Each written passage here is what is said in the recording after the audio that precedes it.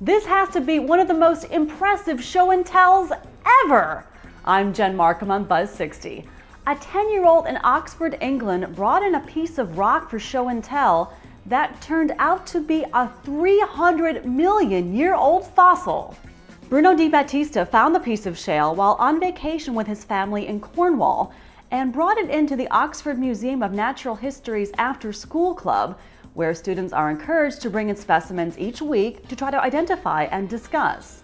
When club leaders saw the faint fossilized imprint on Bruno's shale, they summoned the museum's expert geologists who confirmed the fossil was the foot and tail prints left by a pair of mating horseshoe crabs who were probably getting it on on a muddy beach around 320 million years ago.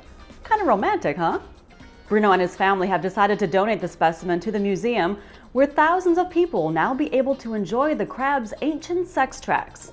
I just sort of feel sorry for the kid next to Bruno who might have brought in a rock from the beach that just turned out to be a rock from the beach. Buzz 60. Now you know, pass it on.